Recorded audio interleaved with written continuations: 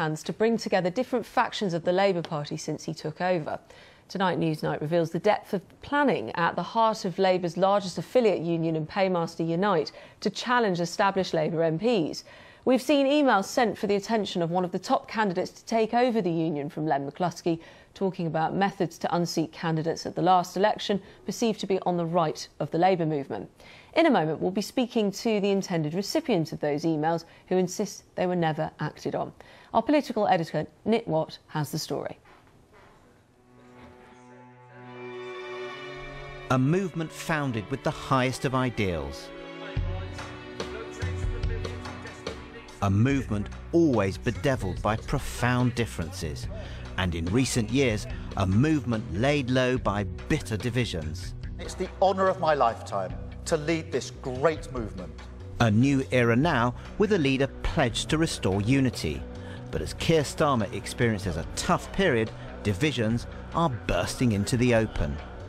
Foul play comes the cry from adversaries of the left as Newsnight sees evidence of the depth of planning on the left to challenge established Labour figures. I think up and down the country there were attempts to destabilise Labour MPs, to get rid of them. I think if people had known that these conversations were taking place when they were taking place, there would have been real shock. I think even Jeremy Corbyn would have uh, condemned that kind of behaviour.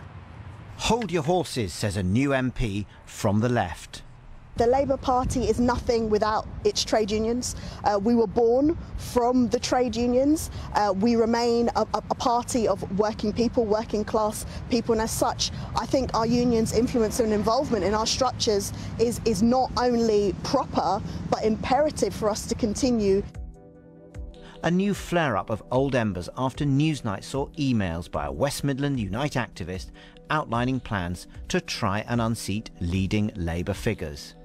In an email dated the 12th of February 2018, addressed to a senior Unite official, Howard Beckett, the activist Steve Price outlined plans to influence the selection of councillors and to put the skids under the former minister John Spellar and Tom Watson, who was then Labour's deputy leader. Newsnight has also seen internal Unite emails in which officials discuss Mr. Price's first email. One said that one hour may not be enough time to deal with all the issues he had raised. In a second email on the 15th of March 2018, addressed to Howard Beckett, Steve Price wrote of how his networking was vital in building up trusted left roots in 59 constituencies. Finally, Steve Price wrote that it had been agreed that he would be paid, but he needed a form of words to describe what he was, wait for it, not doing. In a statement to Newsnight, Unite mounted a strong defence of a union's right to pursue its political agenda, said that Steve Price's plan was not accepted by the union, and insisted that no payments were made. A Unite spokesperson said, it is a long established practice across the entire trade union movement to fund candidates who stand on a platform that will advance the lives of our members. This is not unique to Unite. There is absolutely nothing inappropriate with either Unite or any third party providing clean and transparent funding for political activity. But a nemesis of the left says they are choosing the wrong target. It's outrageous that at a time when all our focus should have been on uh, defeating the Conservative government in the interests of the people whom we're elected to represent. That the Unite, our biggest union, that there was a discussion going on about how to undermine sitting MPs and get rid of them in something like 59 constituencies, that there was a discussion about getting rid of councillors who didn't meet the political agenda of the few people at the top of Unite. There was a discussion about sacking key officials at the Labour Party, the General Secretary, and uh, the official in charge of looking at anti Semitic complaints. And there was a discussion about placing people in seats where uh, MPs were retiring or those seats were seen as marginal. It is appalling to envisage that all that was going on when we were all trying to defeat the Conservative government. And as a trade union, never has it been more important for them to do their day job which is to defend their members' interests against all the changes that come from the gig economy, from insecure labour, and from the challenge to employment rights. Steve Price has not responded to a request from Newsnight for a comment. A brief foray back into the political world for Labour's former deputy leader to issue a warning. The problem, I think, for the Labour Party is whilst Unite carries on with its own internal politics and plays these hard left games and appeals to its narrow audience, that plays very badly with mainstream voters on the doorstep. And we're getting to the point where the behaviour of some of the Unite candidates is actually going to impact on the electoral outcome when the general election happens. Keir Starmer can't afford to let that happen. I've absolutely no doubt that Keir Starmer can face these people down. In fact, he's already shown that he can do that. Um, but why make his job harder than it already is? That's the point I'm trying to make. A Labour MP who supports Unite defends its approach. Unite's politics are clear, and I think that's important too. There's nothing worse than an organisation whose politics are not clear. People don't trust said organisation. Their members give them a mandate and they act on said mandate. That's that's key. But I think it's completely unfair that this idea that Unite are not focused on on you know attacking the government for their disgraceful policies is completely wrong. If we look at what Unite and our other trade unions have been doing throughout the entire pandemic to make sure that workers have had the support that they've had, that is very clear. The language can be milder these days, but it doesn't take long to find wholly opposing world viewpoints within the Labour Party. This is still a deeply divided and traumatised movement after its worst electoral defeat since the era of the Depression in the 1930s. Keir Starmer believes he can chart a way back to number 10 with a united movement. History would teach him that unity is vital for success the present would suggest that achieving that is still a tall order. A festival feel with Unite an ever-present force at rallies of the left. Rather different sentiments in other parts of the Labour movement today, where opposing sides are still dug into their respective trenches. Let's now speak to the intended recipients of those emails, Howard Beckett, who's the Assistant General Secretary at the Union Unite, and a candidate to replace Len McCluskey in the General Secretary election for that union. And I'll be speaking shortly to the Labour MP, Siobhan McDonagh. She served as a minister under Gordon Brown and was part of the new Labour generation that helped sweep Labour to power in 97. Uh, Howard Beckett, though, to begin with you, those emails were sent for your attention by Steve Price, one looking to, quote, remove right winger wingers put the skids under Spellar and Watson, and Steve Price alleges you had agreed for payment for this through a third party. Well, good evening, Emma. Thank you for having me on. Yes, uh, Steve made a proposal to me, and I decided to go in a different direction. There was nothing wrong with the proposal that Steve made. The idea that Tom Watson is shocked by this uh, is quite extraordinary, but uh, I decided to go in a different direction, including our political officers. So, no, the arrangement never was formalised with Steve.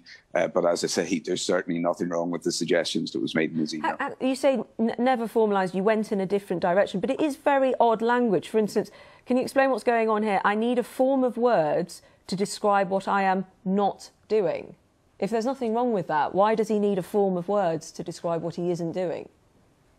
No idea. Um, I have no idea why Steve chose that language is over three years ago. But obviously, Steve was is an activist in the West Midlands, a good activist. He obviously had ideas in his own mind as to how he could generate activism around the West Midlands, and he wanted some financial remuneration with it. I decided in the end that I would go with our political officers, and I wanted to see that activism that Steve talked about organically grew rather than have a fiduciary relationship. But there was nothing wrong with Steve's suggestions at all, and there was nothing shocking about it. There have been replies to him, obviously, because these are a couple of emails, and he, he says, I think we agreed you would arrange payment. That's what he talks about there. So did he did he get that from thin air? Is he making that up? We did approach him for comment. Well, he didn't get a reply from me. I'm, I'm sure whoever has decided to leak these uh, these emails to yourselves would have leaked a, a, reply from me if there had been one. No, no, I'm uh, sorry. No, forgive I... me. I didn't mean that. What I meant was he is talking in this email. He'd obviously had a reply from someone about the fact that you had suggested payment.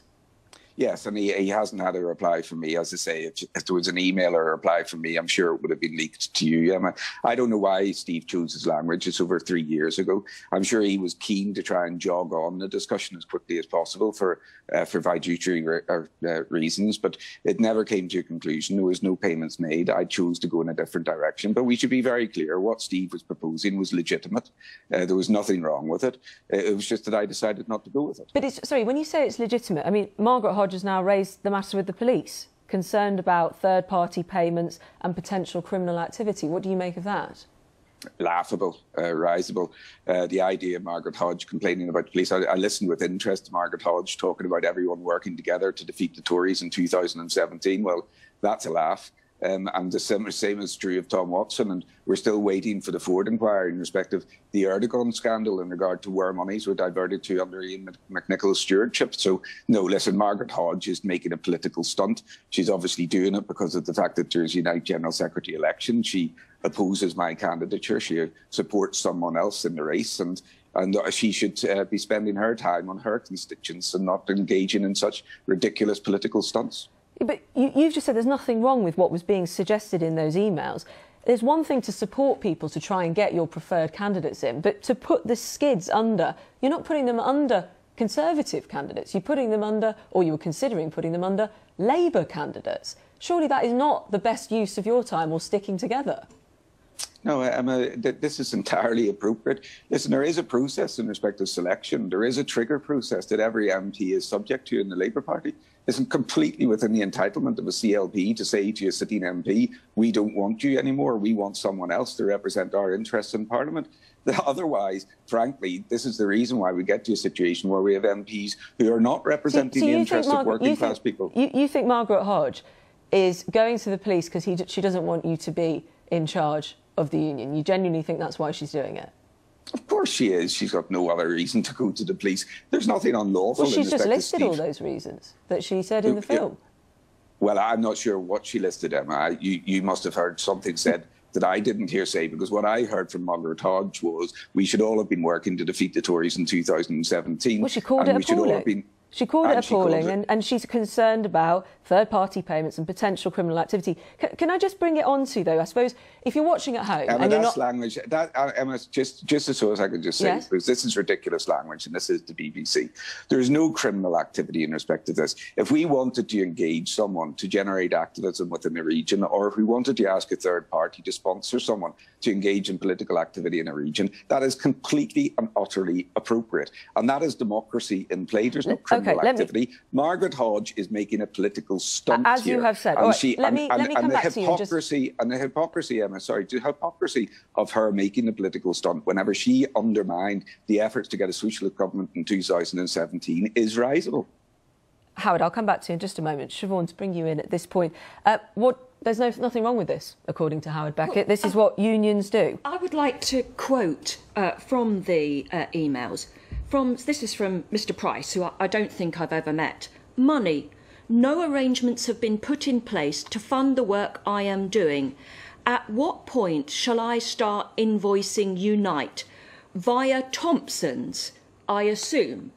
Is the man just a fantasist? Can I just say at this point, Thompson's uh, is the, the legal firm. We've got a statement from there that, that, represent Unite, look after their interests. We're not aware of nor involved in any of the discussions. No knowledge or record of such payments being made via our firm. But carry on with your point. But this pers- this man, Mr. Price, is assuming that Thompson's is going to pay him from Unite. Now he must have got this idea from somewhere, or is he a fantasist? Howard, do you want to come back to that? Uh, Mr. Price is making a suggestion. Uh, in 2017 no, or 2006. He's assuming, and that suggests that this may be of a pattern of behaviour. And then he goes on, I think we, I think that's you, Mr. Beckett, and him, I think we agreed you would arrange payment through Thompson's. I need a form of words to describe what I am not in what brackets doing. That would seem to suggest that there had been a con- conversation and an agreement. And I am sure you would agree, Mr. Beckett, that if this was true in any way at all, and you were trying to hide payments paid for by a third party, that it would be against trade union law.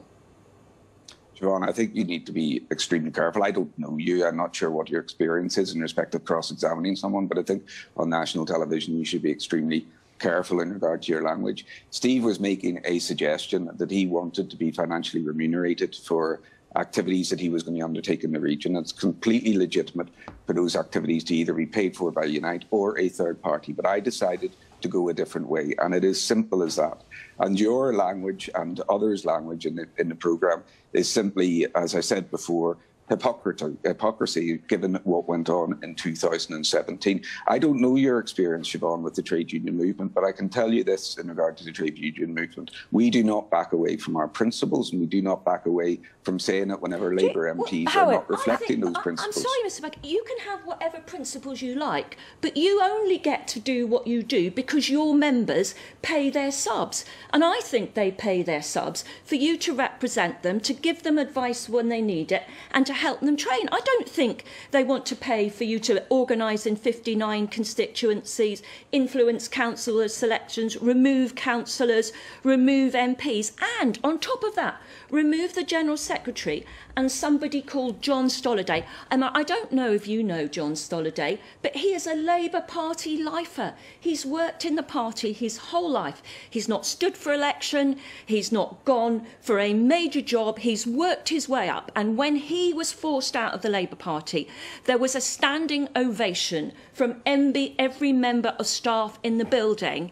And he, this man seems to Emma, think that it's respond. absolutely legitimate Howard, to get him sacked. Very, very briefly, if you may. Well, well, it's extraordinary that it should be brief. Well, no, we've had a long, we've had a long say, to and fro, you and I, and I suppose you just say, a quick response, As I please. say, Siobhan, I don't know your relationship with the trade union movement, but let me just give you a little bit of history in respect of it. The Labour Party was set up by the trade so union movement. Are we having set a bit up, of mansplaining? Set up to be is this mansplaining, Mr. Beckett? I have been in the Labour Party just, just, for 40 years. I have been an Set MP up, for Siobhan, 23 voice, years, and I have been a member the of the for GMB for and 30 Siobhan, years. Whenever, so I really don't need I think, you I think, to lecture I think, me about history. I, we, we are at time for this particular discussion. Perhaps you two will talk again. You are both part I of the Labour... I very much, Emma, that well, we'll talk again. You are because both part... Siobhan, frankly, is in the wrong party. Yeah. Uh, well, I was does, going to she say, simply does not understand the role of the trade unions in the trade union both, party, and that's